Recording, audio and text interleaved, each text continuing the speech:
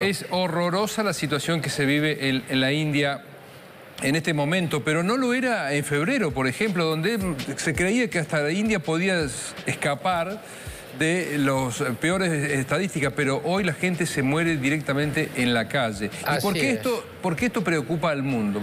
¿Por qué motivo? Así es. Eh, es importante eh, subrayar que eh, están, por cierto, los términos porcentuales. El país más poblado del mundo ha superado a China con sus 1.300 millones de habitantes. amén de eso, la trepada que recién mostraban Laura y Jorge es escalofriante y generan un peligro para el mundo.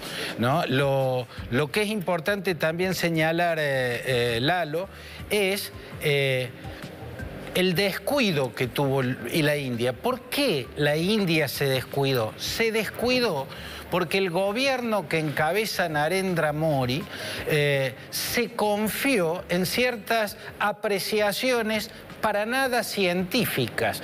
Como en la India no había estallado eh, el nivel de contagios que había estallado en otros puntos, incluso no muy lejanos del Asia, llegó a la conclusión de que la población india tenía algunas características particulares que le permitirían no sufrir la embestida de la pandemia en la medida que la sufría el resto del mundo. ¿Cuáles serían esos elementos? Por ejemplo, que es predominante la población joven en la India, ¿no? Entonces que la juventud de su población era uno de los elementos. Otro de los elementos en los que confiaron eh, en el gobierno que encabeza Narendra Modi en la India es que son tantos los gérmenes patógenos en tantas ciudades hiperpobladas, porque Calcuta, por ejemplo, o Bombay, actualmente llamada Mumbai, eh, no es que son superpobladas, son hiperpobladas. Y en los hacinamientos que se dan en muchas áreas urbanas de todos los rincones del país,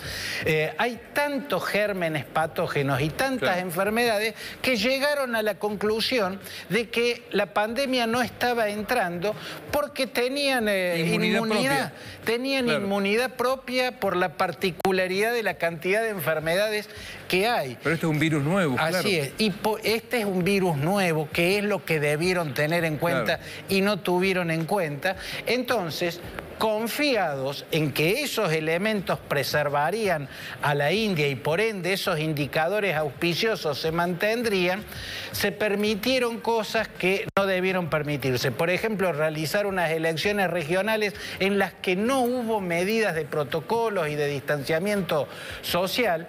Se dieron también grandes protestas masivas. Hubo un caso por, por una, una protesta agrícola contra la política agropecuaria del gobierno de Narendra Mori pero sobre todo había celebraciones religiosas que no debieron hacerse y que se hicieron y no debieron hacerse porque constan precisamente de ser masivos actos religiosos donde la gente se mezcla. Por ejemplo, hay una celebración que es la de la diosa Devi, que es una, una diosa con muchos brazos del, eh, del eh, Olimpo hinduista, eh, y, es, y, es, una celebración que incluso aglomera mucha más gente, se hace en los ríos sagrados y no se hace todos los años, se hace cuatro años, se hace cuatro veces cada 12 años. Por eso cuando cae la fecha de esa celebración, los indios van masivamente, ¿no? Y este año era sobre el Ganges. El Ganges no es el único río sagrado, pero es el río más simbólico, el paradigmático entre los ríos sagrados de la India. No el más limpio. Y no el más limpio precisamente. La celebración se hizo este año multitudinaria como siempre, sin ninguna medida, sin ninguna medida de distanciamiento social y eso sería parte de la escalada que le está haciendo poner los pies sobre la tierra.